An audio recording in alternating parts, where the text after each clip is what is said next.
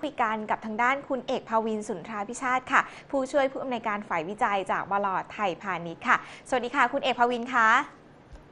ครับ สวัสดีครับ ค่ะวันนี้ก็ตลาดก็ยังอยู่ในแดนบวกได้อยู่นะคะ ครับผมค่ะ มองต่อยังไงก็คะครับสำหรับเอ่อในส่วนในส่วนภาพอืมตลาดนะครับ ถ้าดูupside upside ด้านบนนะครับ ก็มอง ประมาณหนึ่งห้าสองศูนย์ก่อนนะครับ ห้าสองศูนย์ค่ะถ้าถ้าเกิดมันมันยังไม่ผ่านนะครับอืมหรือว่า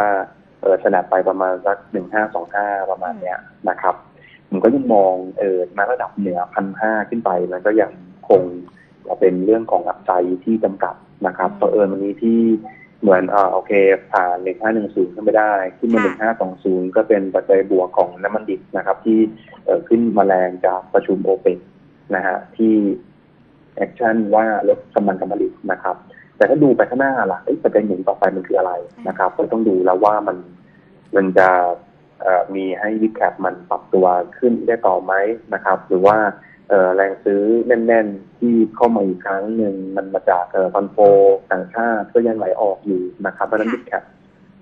ที่จะดันก็เป็นกองทุนสถาบันในประเทศ แต่ว่าดูเหมือนเขาไม่เล่นตัวนี้สไตล์เขาเหมือนจะเล่นตัวหุ้นขนาดกลางมากกว่าเพื่อเพื่อทำ performance ของของแต่ละกองมากกว่านะมันจะเห็นแบบหุ้นขนาดกลางอืมซื้อ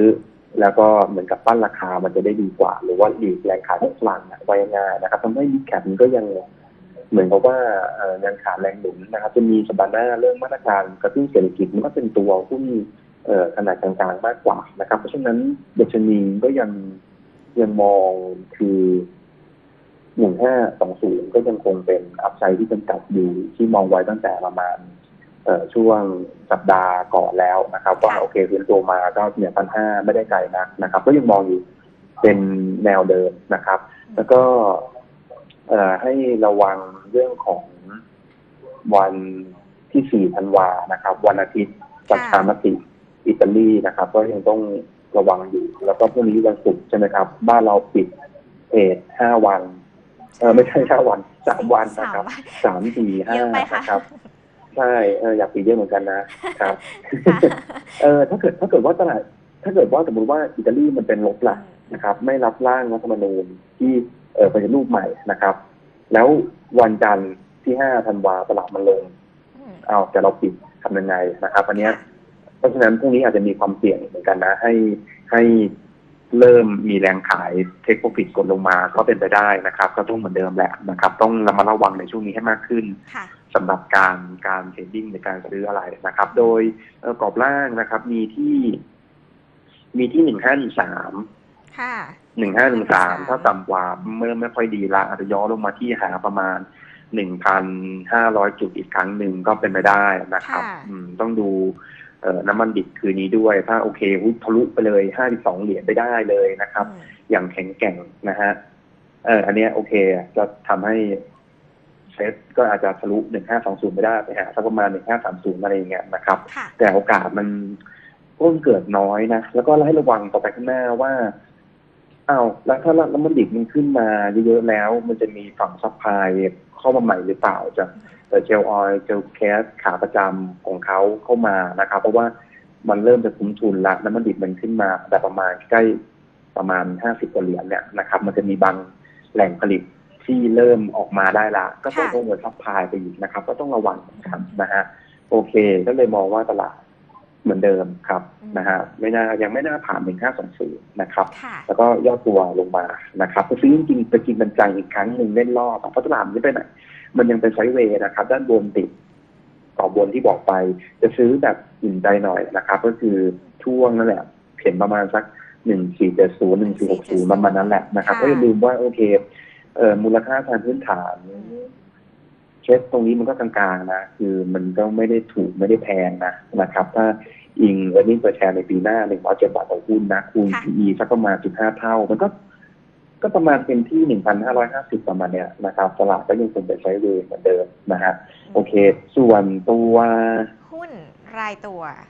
อืม ตัวหุ้นรายตัวนะครับตัวหุ้น STPI รายค่ะตัวก็ย่อลงมาแล้วนะคะ ตัวไหนนะครับ STPI วันนี้ SCBI ครับ ก็มองเป็นโอกาสซื้อแหละ อืมค่ะ ครับเปิดตลาดมันเริ่มย่อแล้วไงมันก็เป็นอืมช่วงของการเช็คโปรฟิตนะฮะค่ะ อืมก็รับประมาณนี้นะครับ SCBI ก็ยังน่ารับนะ ประมาณ ถ้าจะไปลงทุนอาจจะอุ่นใจมากเลยนะครับ เออสองไม้เหมือนเดิมครับสิบบาทต้นๆตรงนี้เลยก็ได้นะครับ สิบจุดสี่ศูนย์เหรอคะครับสิบจุดสี่ศูนย์แล้วก็ถ้าสิบบาทไม่ต้องซื้อละรอยทีประมาณเก้าบาทเลยนะครับค่ะอืม เผื่อไว้เฉยๆนะครับอาจจะลงไม่ถึงก็ได้นะครับ แต่ว่าเอ่อดาวไซด์ไม่อยู่ประมาณเนี้ยนะครับ แล้วก็มองปีหน้าดีนะครับค่ะเพราะว่าอุตสาหกรรมพลังงานมันผ่านจุดต่ำแล้วก็จะมีการลงทุนเข้ามาแล้วก็ดีต่องานในอนาคตหรือว่าใกล้ๆ ก็จะเป็นช่วงปลายปีนะครับ งานขนาดใหญ่ที่ที่เราความคืบหน้าอยู่นะโอเค ก็คือได้ส่วน UTP นี่ก็ยังมองชอบนะเออผลการดำเนินงานในในปีหน้าที่โตโดดเด่นมากนะครับค่ะอืมก็ แต่ก็แต่ถ้าจะเล่น trading นะ ถ้าเกิดว่าจะไปเลยนะค่ะไม่ควรต่ำกว่า 5.95 ละไม่ครับควรถ้าไปต่ำกก็ว่าต่อเลยนะครับ ถ้าใคร trading ก็เอ่อ5.95 เป็นจุดคัดลอสนะครับ ถ้าเป็นลักษณะของการเทรดดิ้งนะ แต่ถ้าเป็นซื้อถือเนี่ย ก็ชอบตัวนี้ด้วยนะครับ ค่ะส่วนเอ่อ WIK เริ่มย่อแล้ว เดี๋ยวว่ากันใหม่ น่าจะลงมาหาประมาณสักห้าบาทต้นๆอีกครั้งหนึ่งอืม ครับ เดี๋ยวเราจังหวะรับใหม่ก่อนนะครับ รอจังหวะ WIK ใครที่ใครที่ขายไปแล้วนะครับ ค่ะ ส่วนตัวเอ่ออีกสองตัวยูซ่ากับ PDI แพทเทิร์นคล้ายกันก็คือมันมันก็ส่วนไซด์เวย์นะครับ แล้วก็ยูซ่าน่าจะลงมาประมาณสามสิบบาท ค่ะพี่อีกครั้งหนึ่งนะครับ อืมเดี๋ยวจะอัปเดตให้อีกครั้งหนึ่งว่าควรจะซื้ออีกครั้งเมื่อไหร่นะครับ แต่ภาพรวมน่าจะขึ้นได้ต่อนะฮะค่ะเหมือน PDI ก็คือประมาณสักสิบแปดบาทสิบเจ็ดจุดห้าประมาณเนี้ยเดี๋ยวจะอัปเดตอีกครั้งหนึ่งนะครับ ใครพอมีกำไรก็ก็ขายไปก่อนแต่ตอนนี้ก็คือเน้นขายอะไว้ง่ายนะครับค่ะ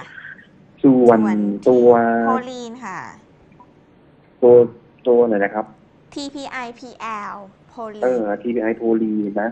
TPI โพลีนตอนนี้ราคาประมาณ2.3นะครับก็ค่ะเนี่ยครับ ประมาณเนี้ยซื้อได้นะฮะแล้วก็2.2เป็นฐานค่ะนะฮะก็มองถ้าลงมาก็แนวรับเนี่ยแหละอยู่นะครับ อืมอืมตลาดสมมติตลาดลงเยอะนะตัวนี้มันก็เต็มที่ก็ประมาณ2.2 2.1แล้วเพราะมันยังไม่ค่อยได้ขึ้นเลยนะครับ แต่ว่ามอง